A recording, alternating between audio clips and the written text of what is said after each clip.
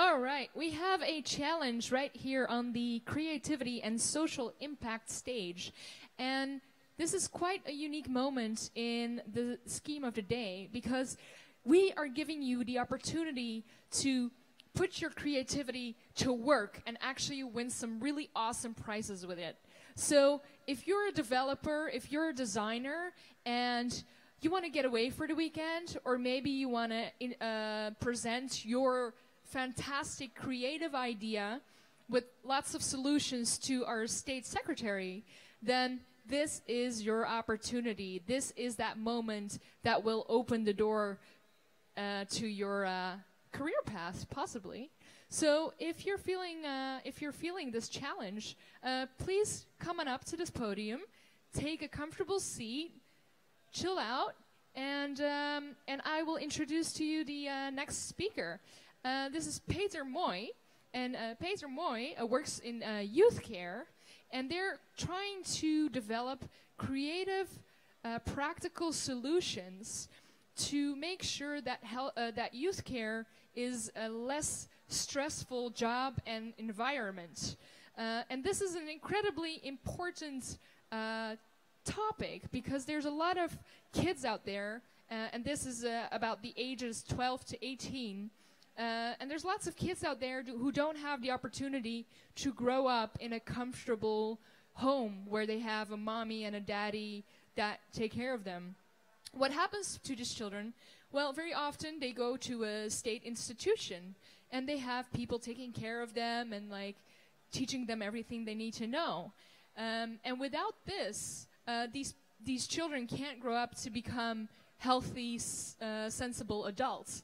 So it's super, super important, both for these kids as well as for society, that uh, this is uh, being done uh, well.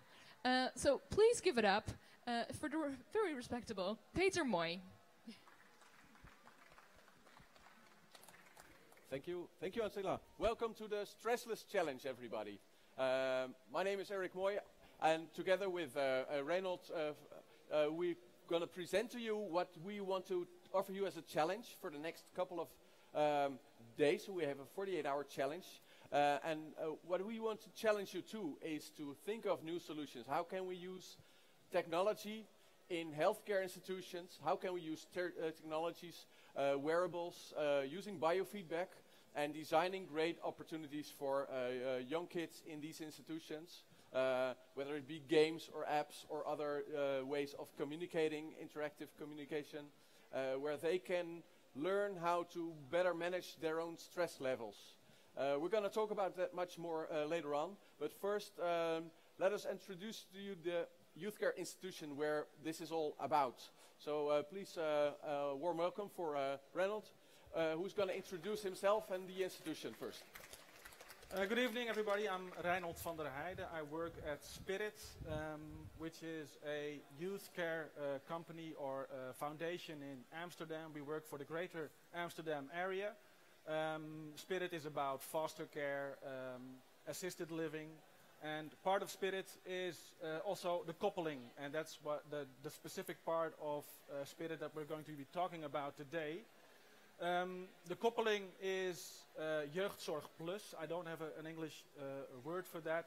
Um, and Jeugdzorg Plus is uh, saying as much as it is a treatment facility where children are being um, uh, taken care of on judge's order. And it's not a criminal order, not a criminal facts that they have done for which they are in, in the coupling.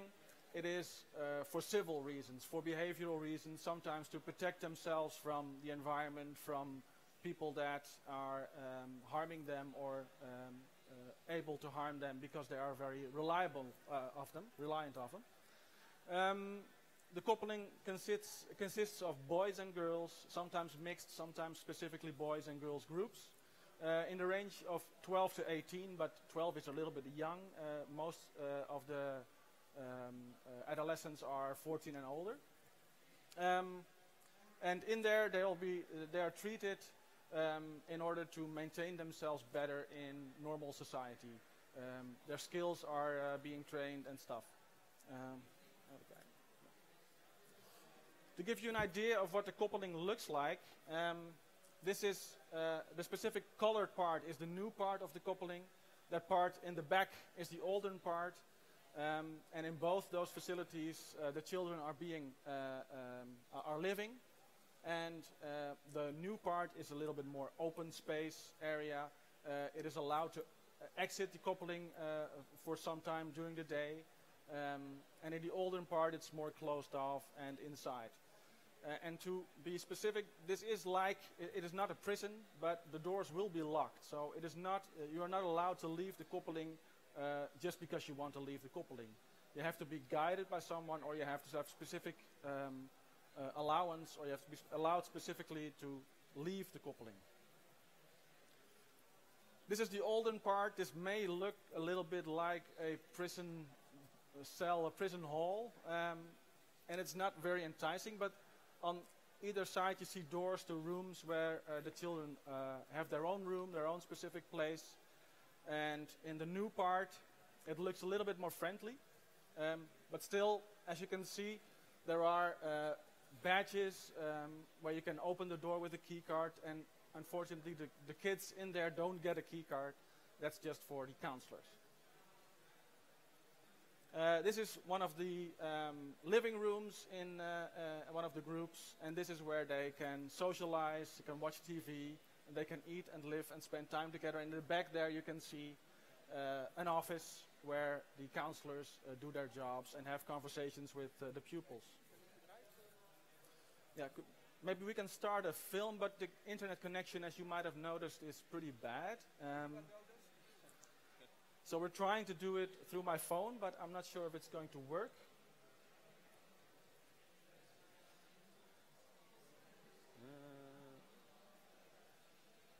See. But we'll give it a try. So the uh, this is an introduction by a 13-year-old girl who uh, lives or lived in the in the coupling, and she made the introduction herself because of privacy reasons. You can't see her, but you can see the facility. And unfortunately, it's in Dutch since it's a Dutch girl in a Dutch institution. But you'll get a feel of what it uh, what it looks like uh, living there for as long as it lasts. uh, and that's pretty much it. Yeah. Oh. No. Sorry, guys, sorry.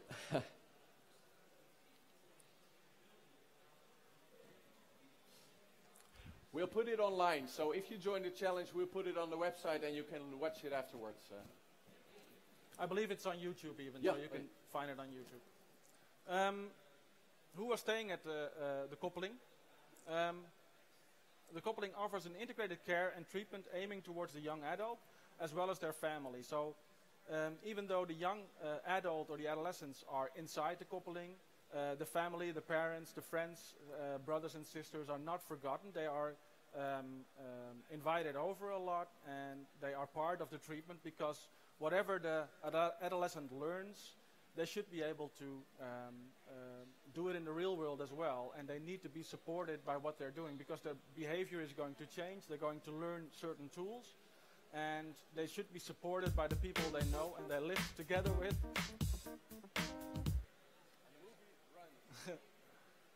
um, they should be supported by the people they live together with, and they should not be laughed at if they're uh, trying something out that they've learned in the coupling and uh, maybe someone is ridiculizing, ridiculizing them for doing that. Um, so everybody that is involved with the adolescent is also involved in the treatment. Um, inside, they live in groups of eight or six, and uh, they are being counseled 24 hours a day. That doesn't mean they have therapy 24 hours a day, but they are inside for 24 hours a day, seven days a week, and all month and all year, if necessary. Um, the doors of their rooms are closed. They're not able to open them themselves. Um, and uh, um, in total for 2015, the coupling had 181 clients. And um, that will tell you that um, none of the adolescents will stay there for a year. Most programs will take about four to eight, maybe 10 months, uh, dependent on the adolescent. Um, and why are they there? Well, they are there because they suffer from severe behavioral problems, um, psychosocial problems, family problems. The system that is failing, the system is what we call in juvenile care is the family. The family is a system as a whole, and that system should support one another in order to make yourself uh, develop, develop in a, a, a better way than uh, uh, without it. Um, some children that are there are mentally challenged or uh, intell intellectually challenged, and some have psychiatrical problems. And for most of the adolescents, it is a combination of problems. But these are the main factors. Um, the coupling aims to improve the problem-solving skills, uh, both inside and outside, so in a group and in, in functioning within schools, but also outside and with your family. Um, they improve school, ski school skills and results. Some children are, um, have been um, turning around their day and night cycle. They're living uh, during the night and sleeping during the day. And they, are, um, they have trouble following authority, listening to people that tell them to do something. Uh, and they don't accept people telling them to do something. So they have to learn that people will do that and will have to do that in order to uh, uh function in society. Uh, improve their societal skills, improve their self-awareness. They should learn how to, how to view themselves, to be aware of themselves. You could, for instance, be conversing with someone that's yelling at you, and, when you, uh, and, and sometimes they even yell at you and they scream at you, telling you to stop yelling when you're speaking normal and they're yelling. So they're not aware of the fact that they are yelling and that you're speaking normally. Um, and to improve the system. So the family system should be improved as well because these children are a result of their family, of their upbringing, like we all are. Uh, and in most cases that goes pretty well, but in some cases it doesn't. And in order to uh, improve the functioning of the adolescent, you should also improve the functioning of the system as a whole. Um, and if there is uh, um, a case of disabilities, for instance, maybe ADHD or uh, uh, development uh, problems, then that should be solved as well within the coupling by medication or by therapy. let's see. When it comes to stress and aggression, uh, the coupling has seen some things happen. Um, in 2015 overall there were 618 incidents. Incidents uh, will range from just swearing and threatening, which is pretty much daily life for people under the 18, uh, up to violence, uh, physical violence, or even escapes. So the term incidents is a bit broad, um, but uh, uh it is uh, um, within the coupling a, a lot happens, and a lot happens almost every day. 54% of the incidents happened in the living facilities, so in the rooms that you were seeing uh, before, in the living room. Uh, other incidents uh, of other places where incidents occur are in school or maybe outside in the closed off area where they can be outside. And the most relative incidents we found uh, have happened in February, May and June. You might be able to figure out why that is. That is, uh, if, you, if I could take a guess, maybe February is behind, uh, is after all the holidays, the holidays where you are together with your families. Um, some of the adolescents may have been in arguments over the holidays and have not spoken to their families maybe for, for a couple of weeks. And if you don't speak to your family and if you're, not in, if you're inside the coupling and you have no contact with your family, then you are not allowed out. You are not allowed to come at home, maybe because your parents don't want to. That'll build up aggression, that'll build up frustration, and that might be an indication why February is a busy month when it comes to incidents. May and June is the end of school, the start of summer holiday, and for children in the coupling, the difference between a school, um, a school week or a school month is not very much different uh, compared to a summer holiday month because they are inside, they are constricted, they are not allowed to go anywhere they want to. Um, so the difference between those things is uh, different and therefore may be a reason for them to be more frustrated and uh, the times that it occurs are 12 to 1 in the afternoon, mostly at lunch, between school, and 8 to 9, but, but those are also the, the times that are often on the group. And um, around 9 is also the time that they have to go to their room, and th that, those are times that they pro probably will be more disobedient and more wanting to do what they want to do because they are pubers, uh, are in puberty, um, and therefore it is difficult for them. it's difficult for them to uh, follow instructions. Um, in recent years, we found that uh, aggression is increasing uh, under uh, um, amongst the uh, adolescents, and they aim their aggression both at the professionals as well as other adolescents. Um, we'll have some examples from for what we what happens.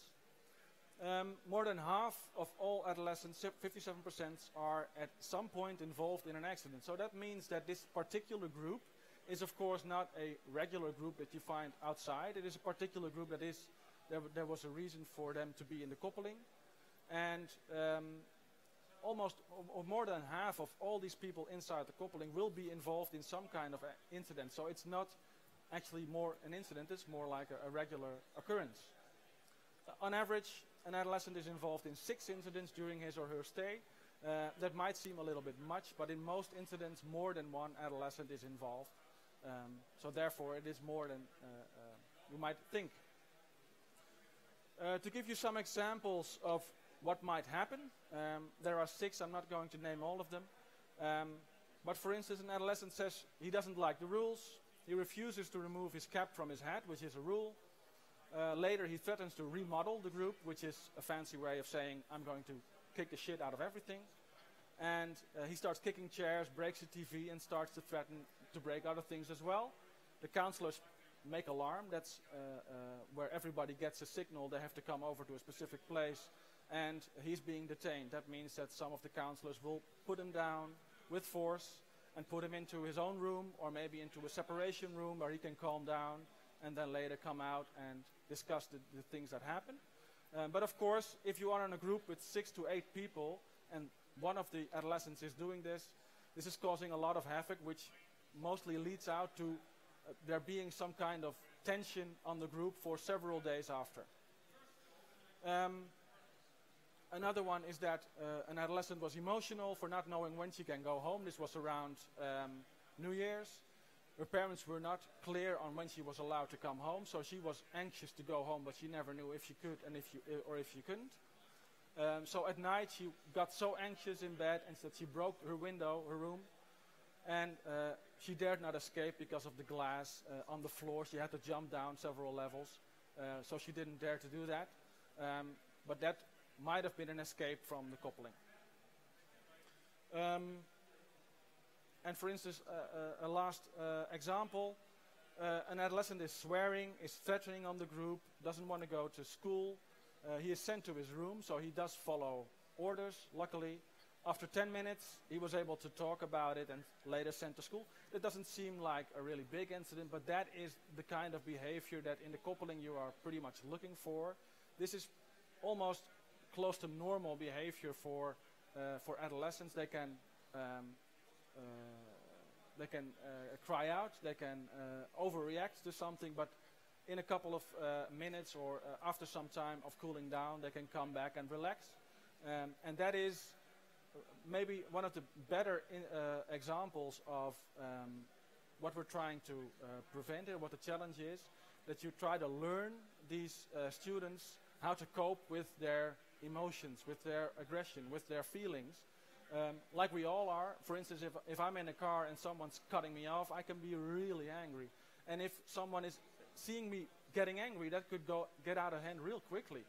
Um, so therefore, it is really uh, a, a, great lesson for all, but especially for uh, adolescents in the coupling, to be able to cope with stress, with aggression, with uh, really strong feelings coming up suddenly. Um, and that's what this challenge is about. Um, so, uh, for short, uh, and to cut off my, uh, my part, um, our challenge is that can you find a way to make young adults in the coupling more relaxed using technology and thus create safer youth care. Um, there is a lot of stress for adolescents in juvenile institutions like the Koppeling, and there are a lot of institutions like the Koppeling in the Netherlands. Uh, we would like to use technology to help adolescents deal with stress better. Um, or maybe, just to give you an idea, not focusing fully on uh, the adolescents, maybe also the counselors need to handle their own stress better. How stressful is it for the counselors to work with such stress that can explode every time, every day, every day of your work. Um, well, it's up to you. Um, Erik. So now that you have a better idea of what this challenge is about, um, I was just wondering, since we're here at Campus Party, um, any of you are, uh, which, uh, which ones of you uh, like uh, designing uh, creative things, who are uh, who feel that, as themselves as creatives? which of you think, oh, I'd like to really design beautiful things? For example, for this challenge, to, to design great games or things that they can use in the, the, the healthcare institution. And who are, sorry. Great. Who likes to make useful things? Who's really interested in using new technologies? Uh, things like uh, wearables, uh, biofeedback devices, um, using um, artificial intelligence. Last night on this stage there was someone from IBM telling us how machine learning can help uh, us uh, uh, build computers that can really basically do whatever we're doing now now as humans and they can take that over for us. So maybe uh, something with real cool technology could really help uh, these children better uh, learn about themselves. Who's into technology? Who's into design in de designing great? Okay, great. So I'm trying to show you how we want to challenge you to use both of these uh, these insights to to build things to help the coupling give better care to these children, to these young people. So the challenge is to uh, find a way to um, help them cope with stress. And I'm going to try to tell you a little bit about how we want to enable you to uh, come up with new ideas. It's a challenge for me as well, since I was hoping to uh, show you a little of, uh, of our insights uh, using YouTube. and uh, weird as it may seem here on uh, a campus party, uh, I'm not, uh, not able to, uh, to get them all working, so I'm trying to describe a little of the things that I was uh, trying to show you on the, on the video. So the first thing is, um, this is a video that you can see afterwards on the, on the challenge website as well. But interesting thing is first, there are quite a few insights in how the brain works um, how stress can build up and how can, uh, stress can lead to aggression. And um, there are also uh, quite a few uh, known ways from psychology that people can use to deal with stress. So there's a lot of insights in how stress builds up, but also how you can uh, build stress down if you are aware of the fact that you are stressed out and that you're feeling more aggressive. Uh, most of the times people don't realize it until they actually have a, a like a blowout to someone or have an, uh, have an uh, incident, as uh, it is called in youth care. Um, but if you can uh, find out what, what are the triggers for you, uh, how stress builds up in your particular situation, then you can act and, and use uh, that knowledge to really better get a grip of yourself, better get control of yourself. So a few of the things that we want to use in this challenge and we want to give you to, to experiment with are tools that can help either uh, find out if you're stressed or uh, uh, help manage your stress. So one of the technologies that uh, we have with us here is the, is the Muse, which is an EEG scanner and a headband that you put on your head and that measures uh, brain activity. And brain activity can be a really good way to uh, cope with um, emotions. So if you want to, for example, try to be more relaxed, you can use the Muse to further build down your anxiety, your arousal, and then uh, be, become more aware and more relaxed of, of um, uh, and better deal with your emotions. Uh, another technology which is quite new, uh, we have a few of them for this challenge, a few of them available for this challenge, is the Totem, which is a uh, wearable device that can do a lot of things that uh, an Apple Watch could do as well, or some of the uh, Fitbit or other devices that you can uh, buy in the store. But it's a really, uh, really cheap and flexible device, which is really easily programmable, and you can do a lot of things with them yourself. They're easy to hack, basically. And these devices um, um, uh, have a different set of um, sensors that you can use if you want to um, uh, help these young people in the in the uh, youth care institutions to find out better better find out what their daily routines are and uh, uh, find a little bit more out about their own health and their their activities. So you could use that also to find a solution. And the third one, which is probably the most interesting thing, is the Empatica. It's one of the few devices uh, that can really accurately measure stress and uh, give you uh, feedback on stress levels. It measures uh, stress through your skin, so you wear it, and uh, it measures uh, uh, electricity through your skin, and the output is quite accurate. So if you want a device like if you go, out running and you have a GPS tracker, then you can measure meter by meter how far you have gone. And this is basically something that does the same for stress. It's a very accurate device that measures levels of stress uh, so accurately that you could actually like make predictions as to when someone is going to get an argument or when someone is going to break down or uh, maybe even um, um, build up a depression over a longer time of uh, period of time. So this device really gives you a lot of insight in the psychology of someone. And if you can use that that feedback and build a great application around that, a very functional or a very beautiful one, uh, then uh, you could make something that really could indicate to someone um, how they're feeling and at what time they should do something else to not get aggressive or uh, get stressed out. So a little bit about the, the emotion uh, and technology. Um, using technology to uh, work with your emotions. There's actually a great video behind this image about uh, someone from MIT explaining how they did experiments with um, young children. They put a wristband just like the other one around uh, the children's uh, wrists, and they measured their anxiety levels, their arousal levels, while watching a cartoon. I think it was uh, Minions or something. So they measured the uh, anxiety levels during the movie, and you could actually see what part of the movie they liked best. Because emotions aren't just stress and anxiety and, and fear, but uh, emotions can also be uh, joy and, and happiness. So you can use these insights really to really accurately pinpoint how people are feeling and also what kind of pattern there is in, uh, in this um, uh, build-up. So to wrap it up, um, you heard uh, Raymond tell you about uh, how life is in the institutions.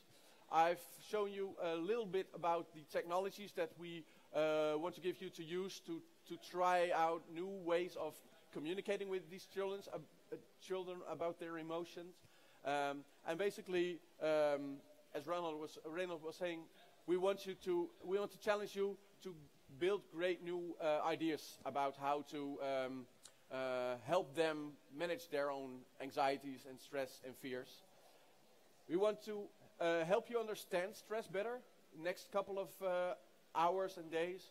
We want you to find out uh, how we can use these technologies or how you can use these technologies to really design great new ways to reduce stress and hopefully, I mean it's only 48 hours, but still, hopefully prototype a great new tool that one of you in the end can uh, then um, present to our uh, Secretary of State.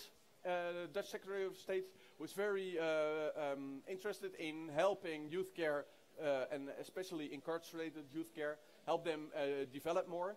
So we, the best idea we can help you set up a meeting with him so you can present your idea to him. Um, of course, the most important thing naturally is that we can help them, uh, we can help your solution become a part of the youth care system and help uh, a lot of kids in these institutions uh, have a better life there. Um, Spirits and the coupling also reserved money for the best idea to be uh, prototyped further and, uh, and tested out in the institutions. So we have that as well. And uh, uh, last but not least, since this might be a very stressful uh, event uh, next coming a couple of days, especially if you're going for the main prize, is that we want to offer you time to relax afterwards. So we offer a weekend away. well, it could be it could be any city, depending on what kind of nationalities you have in your team. We'll figure that out. What might be the best uh, destination for your trip then? But uh, I hope you are uh, enthusiastic about the uh, about the topic. I hope that you feel that you can uh, make a difference for these uh, uh, for this institution for these uh, kids. And um, uh, uh, next up, if you decide to join us in the challenge, we're going to talk to you a, a, little bit more also about behavior design. We're going to tell you how the challenge is going to work. Uh, we're going to have a great workshop afterwards with uh, Jens Scheibels there in the back and Tom Wolvers, who are going to show you um, how to um, how to think like a designer and um, hack like a pro and build great things the next couple of days. And uh, we definitely hope that uh, uh, you're planning on uh, joining the challenge and making great applications for this um, for this very serious problem. Good luck. Good luck with the challenge. Afterwards, um, Jens and Tom will take it over. we're going to start with the planning for this for this 48-hour hackathon for this challenge. Um, but not before we take any questions that you might have about uh, what's coming up next. Thank you. Is there anything that you want to, anything that you want to know about the challenge or uh, questions that you have about any particular part of this? Are you feeling up for this? How do you feel? Want to join the challenge and build great things uh, the next couple of uh, days? Jens, can you come to the stage? then we can uh, talk about uh, how we can set up the workshop and uh, get this challenge going.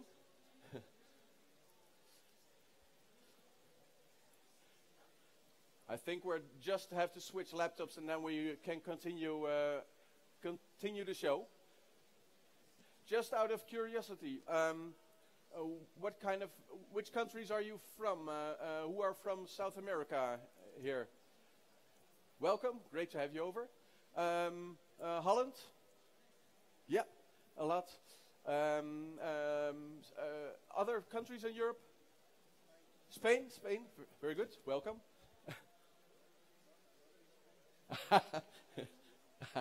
um, Asia? Yeah, welcome as well. Any uh, continent that I forgot? no? Well, so much, uh, so uh, so happy to have you all here. Welcome at the challenge. Um, Jens setting up himself and uh, to start off uh, with a workshop afterwards. Is there anyone who has any um, um, knowledge of youth care institutions in your own country? People that you know of who have been there? Is this um, is this a story that that you recognize from that, or is there anyone who says? this is very uh, familiar. I have heard stories about these institutions. Uh,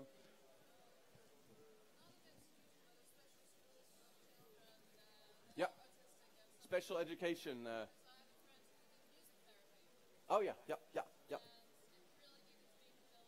Yeah.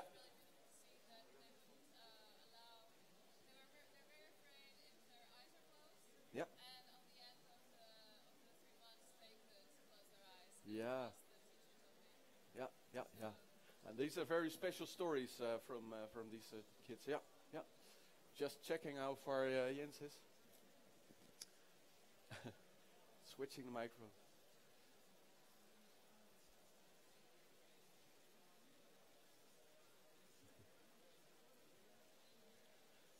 Gaat goed? So, uh, uh, as I was saying afterwards, um, We'll have some topics that we want to discuss with you, things that we think might help you uh, work on this challenge uh, and uh, uh design things that really could help the young people in these institutions further. So we're uh, going to uh, share with you a, a, few insights about... That's you. share with you some insights on how you can start this design process, thinking about what might work in best in, uh, in youth care institution and um, also uh, a little bit of psychology, how behavior design works. So for example, if you use the Empatica, you, you use the wearable to uh, design new, um, uh, new applications. How can you use biofeedback to trigger different emotions, different behaviors? So if you, for example, think about building a game, how can you use biofeedback to trigger different emotions? So there's a lot of insight in that field as well, and we hope that you find a way to use that uh, as well, because it might be a really powerful way to use that. I think I should be on a different point of the stage. Uh, can help you design uh, solutions that really can help these uh, children um, get into different states, different emotions, and uh, uh, basically feel much better using these solutions. So very uh, curious as to what you might come up with the next couple of days. Um, I'm going to hand it over to Jens. Welcome. Thank to, thanks to have you over here, and good luck. And welcome. And uh, Tom, will you be joining me? No? You, uh, you will smile and wave. Tom is in the back. He's, uh, he's my partner in crime these days. Um, and I learned a new key, that's the B. That means it comes from, bl from black to a screen we can use. Okay, the idea is that you heard the case. It's kind of um, a challenging case because it's about healthcare. And in healthcare, it's always about people. And people are nice objects like you guys, but it's always difficult to design for them because they have, they have a specific way of looking at the world. Um, so we have some guiding tools to start today, and we want to walk you through what the idea is of a 48-hour challenge. It's not a lot of time, but the time we do have, how we're going to spend it. Um, so the idea is that in 48 hours, you can come up with great ideas, and the better they are, the more there's to win. So that's kind of a nice challenge already. Um, in basic, well, be, by the way, these are the things we, we might be using, website, Slack, and of course Twitter if you want to, or Facebook. Um, but we're going to do a 48-hour meaningful challenge. Um, and that means that we're looking for intervention that potentially ha uh, have, the, uh, have the ability to change people's behavior. And I'm kind of careful in saying that because we cannot say, I will change your behavior, but we can invite people to change behavior. So we see something happening now, and there's a reason people are doing that today. And we think we can go into something else where we can say, what happens if we plug this into your life, will you behave differently then? Are we solving things? Are we changing things for the better? Hopefully we are. As designers, we hope to, or we believe that we can do things better. But there's a catch, you know, why do we and all other designers today want to change behavior so badly? Uh, I'm not sure if you have thought about this, like because designers, we're changing, and I'm saying designers because I'm coming from a design background, but in but in development we see the same thing. Now, when I was educated, I was taught to do things like this: objects need to be fun, need to be cool looking, they need to be very nice and nice material. This is what we were designed for as as as as, as persons uh, and things like this, nice lamps. But we're not doing it anymore. I think today we designers are changing. Um, and we're changing from solely designing objects to doing something else. We're now designing intervention that would help people to be more sustainable, uh, to eat more healthy, to be more supportive in the local community. And these things do not require a table or a chair. These things require something else. So what do we want to do as designers? We want to have these things happening, and that is something difficult. Um, it means that, that we uh, need interventions that change the way we behave and not the way we select or buy a product. So we're looking for something else, this, this challenge. We're looking for ideas that are not meant to be impressive when seen in a, in a window shop. It, it, it needs to be, in, in a shop, uh, it needs to be impressive because it has impact on our daily lives. And especially with a target group like introduced before, it's challenging. So we're going to use some ideas on how can we help people to understand what's happening, use the available information, and we're going to add to that because using the new technology, we can have more input than before. Um, and how we're going to use the input that we gained to invite people to change their behavior. How are we're going to allow people to do that. That's our challenge these weeks.